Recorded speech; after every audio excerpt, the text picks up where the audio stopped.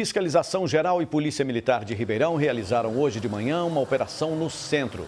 O objetivo foi combater a compra e venda de celulares e acessórios roubados. A PM também fiscalizou a venda ilegal de eletrônicos e outros produtos no shopping popular, com vistoria nos boxes. Alguns estabelecimentos ganharam novo prazo de regularização de alvarás.